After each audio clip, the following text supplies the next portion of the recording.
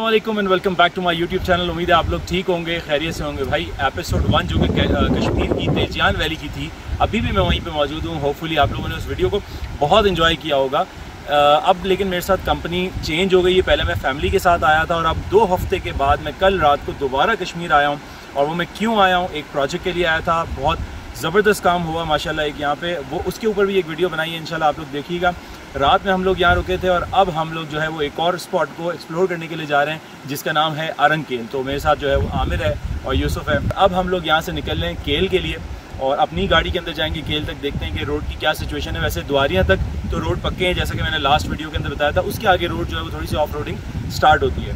तो अब हमने बस जोहर की नमाज़ पढ़ी है, खाना वाना खा लिया है और अब निकल रहे हैं केल और आपको जाके दिखाते हैं अरंग केल का क्या सीन है। रास्ते में रुके हैं ठंडा पानी पीने के लिए अब, क्योंकि जैसे जैसे आप आगे जाएँगे तो शॉप्स वगैरह जो है वो काफ़ी काफ़ी डिस्टेंस के बाद आती हैं। तो ये माशाल्लाह देखें, कुदरत चश्मे का पानी है और ठंडा पानी है, बेहतरीन। यहीं से हम जो है ना गाड़ी के अंदर काफ़ी सारी बॉटल्स जमा हो गई थी तो यहीं से हम भर के पियेंगे। ये देखें, अब, तकरीबन जो है ना, एक घंटा ड्राइव किया हमने तो ये एक इलाका आ गया, जिसका नाम है शारदा। और यहाँ पे अच्छी खासी आबादी है, ये देखें साइड में बहुत घर हैं, और ये एक टूरिस्ट प्लेस भी है लोग नॉर्मली जो है वो यहाँ पे स्टे करते हैं। ये देखें, सामने। घर हैं सारे। यहाँ पे जो है वो नॉर्मली छोटी मोटी एक्टिविटीज़ हैं बोटिंग शोटिंग इस तरह की एक्टिविटीज़ हैं। ये देखें बारिश स्टार्ट हो गई है तो अब हमें थोड़ा सा स्पीड करना पड़ेगा अपना जो है ना जाने का पहुँचने का सारा सीन क्योंकि अगर बारिश तेज़ हो गई तो वहाँ की जो चेयर लिफ्ट है जो आरंग के लेके जाती है वो बंद हो जाएगी। तो हम कोशिश ये करते हैं कि जो है ना जितना जल्द जल्द हो सके सेफली ड्राइव करके जाएँ और रास्ते में कहीं ना रुकें। तो मौसम देखें आप कितना प्यारा हो गया माशाल्लाह। क्योंकि ऐसी जगह हो और फिर धूप चली जाए और बादल आ जाए और फिर बारिश स्टार्ट हो जाए तो फिर तो क्या बात है।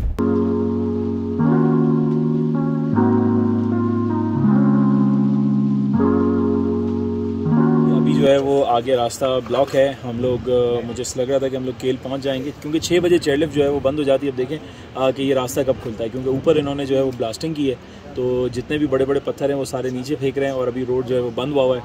और मशीनें वगैरह सामने खड़ी हुई हैं लेकिन ये है कि सारे लोग इंतज़ार कर रहे हैं। जब तक ये रास्ता क्लियर नहीं करेंगे तब तक हम लोग और जितने भी लोग यहाँ पर मौजूद हैं ये सारे वेट कर रहे हैं। और देखें अब ये कब खुलता है। तो अगर के लेट हो गया तो फिर शायद केल में रुकना पड़े हमको और अरंगकेल हम कल सुबह जा पाएँगे।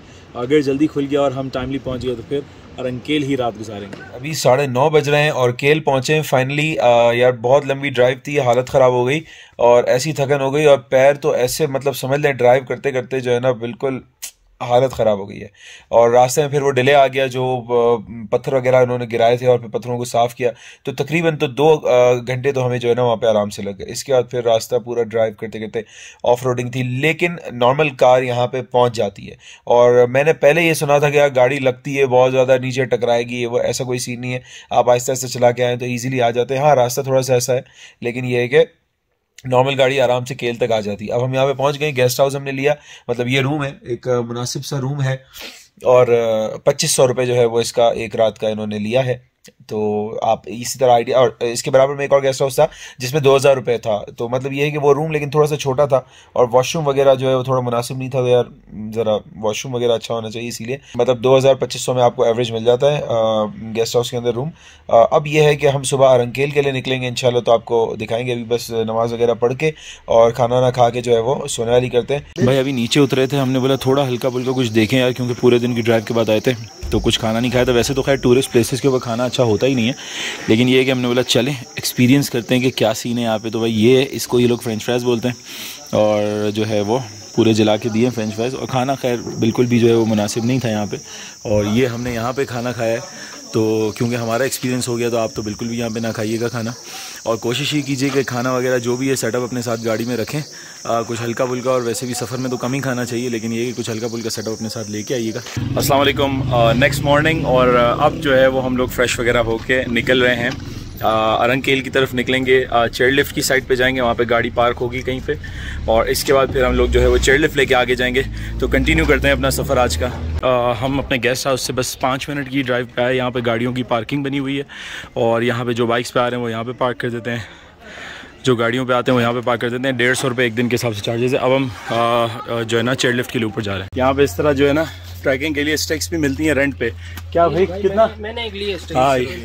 तीस रुपए जो है वो। हैंडल वाली का। अच्छा। और जो शादी है उसका थर्टी रुपीज़ तो ये जो है ना ट्रैकिंग के लिए अगर आपको इसकी ज़रूरत पड़े तो आप ये स्टिक भी ले सकते हैं क्योंकि आगे ट्रैकिंग है। आ, भाई देखिए ये पॉइंट है यहाँ सब आते हैं जमा होते हैं और इसके बाद फिर यहाँ से आ, ये आप देख रहे होंगे। इस ये जो चेयर लिफ्ट टाइप का सीन है इसके अंदर जो है वो लोग आ, सामने की साइड पर जाते हैं। यहाँ पे जाएँगे सामने यहाँ पे। ये पॉइंट है यहाँ जाएँगे सामने ये देखें ये आ रही है ना? इसमें जो है वो बैठ के हमने जाना है, ठीक है? और दो सौ रुपये पर हेड जो है वो इसके चार्जेज़ हैं।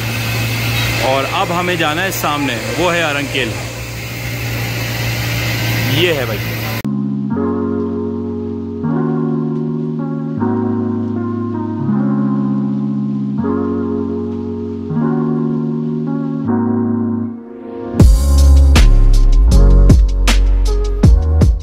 भाई चैलिफ से हम जो है वो यहाँ पे उतर गए। अब यहाँ से ट्रैकिंग स्टार्ट हो रही है तो देखते हैं कि कितना डिफ़िकल्ट है या आसान है ट्रैकिंग आपको दिखाते हैं, आ जाए।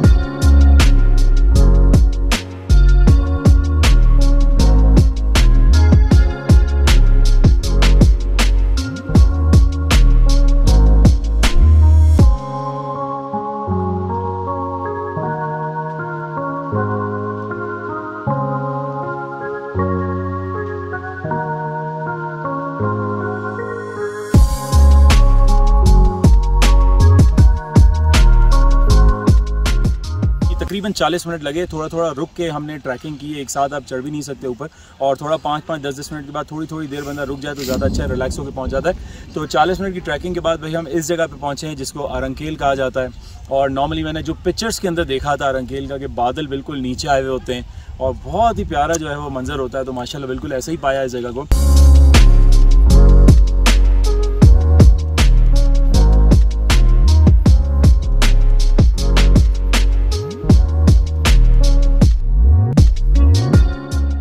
खाने का हमने ऑर्डर दे दिया क्योंकि भूख लगी है डाइट ट्रैकिंग करते हुए ऊपर आए। और ये यूसुफ भाई चिप्स के मज़े ले रहे हैं। ये हम एक गेस्ट हाउस के अंदर रुके। ये हमारा रूम है। ये हमारा रूम है। ये इस तरह का रूम आपको जो है वो मिल जाता है। नॉर्मली 2000 तक का बारगेन करके आप 2000 1800 तक का मिल सकता है आपको। अब मेरे बैक साइड के ऊपर जो आप देख रहे हैं, जो माउंटेन्स जो कि पूरे क्लाउड से कवर हैं, और इसके बैक साइड के ऊपर जो है वो मकबूजा कश्मीर है। हम लोग इस वक्त आज़ाद कश्मीर में जो अरंग की जो जगह है, ये ज़मीन से तकरीबन 8000 प्लस फिट जो है वो हाइट के ऊपर है। और यहाँ का जो शाम है ना मतलब अरंग की जो शाम है वो बिल्कुल क्लासिक है। मतलब आप देखें कि हर तरफ़ बादल ही बादल हैं। नीचे उतर आए बिल्कुल ऐसे लग रहा है कि बादलों के साथ हम बातें कर रहे हैं। ये आ गया भाई अपना खाना आ गया जिसका तकरीबन पिछले एक डेढ़ घंटे से इंतज़ार हो रहा है। ये भाई रोटियाँ आ गई और दाल चना माश की दाल और ये यूसुफ ने अपने लिए पराठा मंगवाया। और अब फाइनली हम खाना खाएँगे देखते हैं कि यहाँ का खाना कैसा दिखने में तो बड़ा अच्छा लग रहा है। खा के देखते हैं। बिस्मिल्लाह।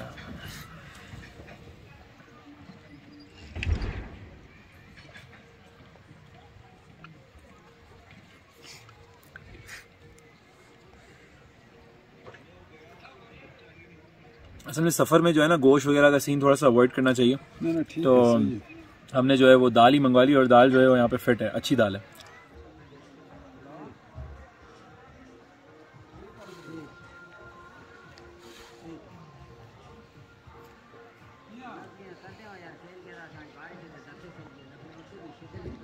मगरिब का टाइम होने वाला है और मैं एक्सपीरियंस कर रहा हूँ कि मगरिब का टाइम मतलब जैसे जैसे अंधेरा होता जा रहा है और भी जो है ना मतलब बादल नीचे आ रहे हैं। बिल्कुल बादल सर पे आ रहे हैं और ठंड बढ़ती जा रही है।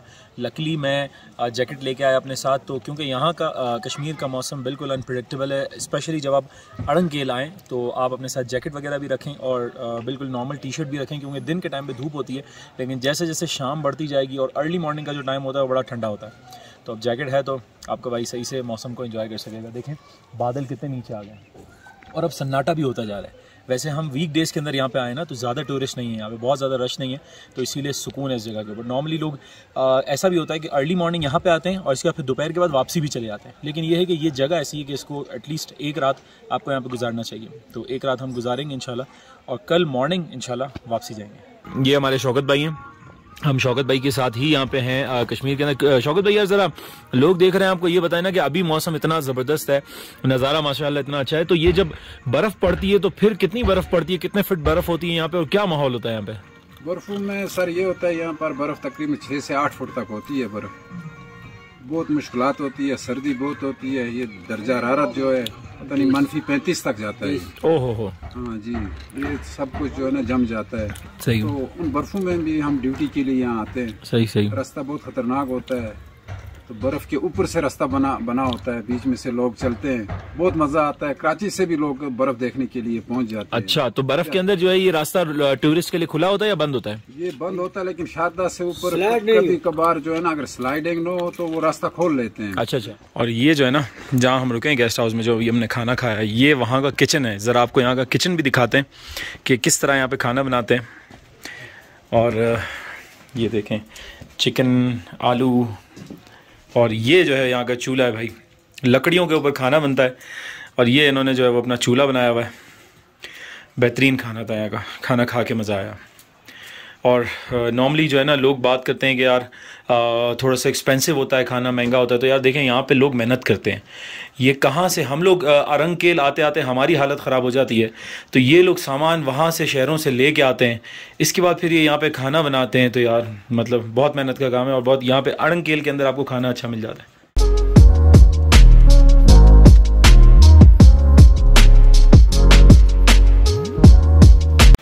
गुड मॉर्निंग और बस अभी भी सुबह मैं उठाऊँ और मौसम ज़रा चेक करें कि अभी तो बादल इतने नीचे आए हुए हैं जितने कल भी नहीं थे।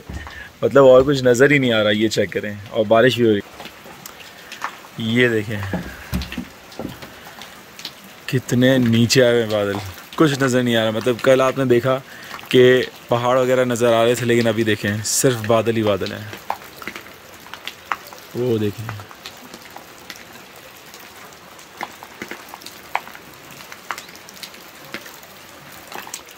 क्या मौसम है।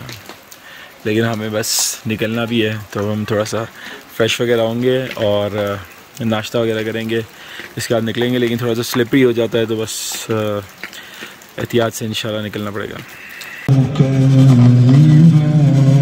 यहाँ पे तिलावत चल रही है, माशाल्लाह। चाय बन रही है सुबह की और अब हम सुबह के टाइम पे ये देखें, बादल कितने नीचे हैं। हम थोड़ा सा चक्कर लगाने के लिए निकलें, क्योंकि अब हमें जाना है।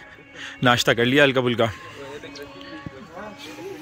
ये है घास कटाई का सीज़न ना यहाँ पे कश्मीर में। सारे लोग लगे हुए हैं अपने अपने जब ज़मीनों की जो है वो घास कटाई में लगे हुए। ये घास इस तरह काट के इसके बाद फिर इसको जो है वो डम कर लेते हैं अपने अपने घरों के अंदर और इसको ड्राई करते हैं ताकि क्योंकि आने वाली है सर्दी स्नोफॉल वगैरह होगी यहाँ पे तो फिर इनके मवेशी जो है वो यही खाते हैं ड्राई हुई हुई। अगर ये वक्त पे ना की जाए तो फिर ख़राब हो जाएगी और फिर सर्दी में इनके मवेशी भूखे रह जाएँगे। देखें सामने भी सारी घास कटाई की हुई है इन्होंने। और अब ये ड्राई करके इसको जो है वो डम कर देंगे एक जगह। कहीं पे भी पाकिस्तान में चले जाना यार, ये जो लोग आगे कचरा करते हैं ना, बहुत बड़ी बात है यार। देखें इतनी खूबसूरत जगह है। आप यहाँ पे आके एंजॉय करें। ये देखें, छालिया के रैपर सिगरेट पी पी के, फूंक फूंक के यहीं पे फेंकी हुई है। हालाँकि डस्टबिन देखें, यहीं पे ये देखें, ये कूड़ादान बनाया हुआ है। इसके अंदर कचरा नहीं डालेंगे। ये देखें, बनाया हुआ इसके अंदर बिल्कुल कम कचरा है। असल कचरा यहाँ पे बाहर फेंका हुआ है। भाई अब जो है वो हल्की हल्की धूप भी निकल आई है और बारिश भी रुक गई है। तो हम जो है वो सारा सामान वगैरह उठाया है और अब वापसी का सफ़र है। यहाँ से ट्रैकिंग करते हुए नीचे जाएँगे फिर चेयर लिफ्ट है और इसके बाद फिर जहाँ गाड़ी पार्क की है नीचे केल में वहाँ से फिर सफ़र कराची के लिए स्टार्ट हो जाएगा। तो औरंग केल का जो ओवरऑल एक्सपीरियंस था वो बहुत फिट था बहुत अच्छी जगह है बल्कि अभी भी आप मेरे पीछे आ, मौसम देख रहे होंगे ये देखें माउंटेंस नज़र ही नहीं आ रहे अभी तक विजिबिलिटी ऐसी है कि बादल बिल्कुल नीचे बहुत प्यारी जगह है। और ज़रूर आना चाहिए यहाँ पे। मैं इसको ज़रूर रेकमेंड करूँगा क्योंकि मुझे बहुत मज़ा आया और मेरे साथ जो साथी थे, सबका एक्सपीरियंस बहुत ज़बरदस्त था। प्लस शौकत भाई जो हमारे साथ थे, उन्होंने बड़े ज़बरदस्त तरीके से उनकी हॉस्पिटैलिटी थी बहुत अच्छे से उन्होंने सारी चीज़ें की और बस अब वापसी जा रहे हैं। तो होपफुली आप लोगों ने भी इस वीडियो को इन्जॉय किया होगा और कभी भी कोई ट्रिप करें तो यहाँ पे भी जो है वो ज़रूर आप प्लान कर सकते हैं। कश्मीर के अंदर अरंगकेल बहुत फिट जगह है। अपना बहुत सारा ख्याल रखिएगा, फिर मिलते हैं किसी और वीडियो में। चैनल अगर अभी तक सब्सक्राइब नहीं किया सब्सक्राइब कर लीजिए और बेल आइकॉन को भी प्रेस कर लें। इंस्टाग्राम पे मुस्तफ़ानी टू सिक्स के नाम से मुझे फॉलो करें। फिर मिलते हैं किसी और वीडियो के अंदर। अस्सलाम वालेकुम